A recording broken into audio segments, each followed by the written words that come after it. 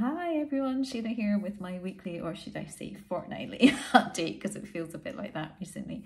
Anyway, this week has been particularly busy because I've not had one, but I've had two openings of group shows this week, which was fabulous.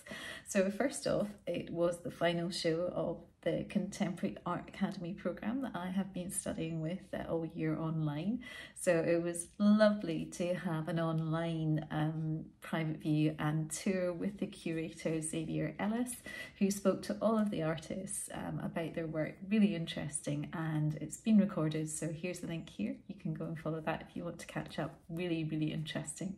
Um, yeah, just listening to the, all my fellow wonderful artists talking about their work.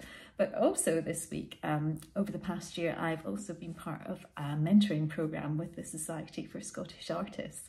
And we had a final celebration and get together yesterday and there's a little exhibition at Cass Art in Glasgow.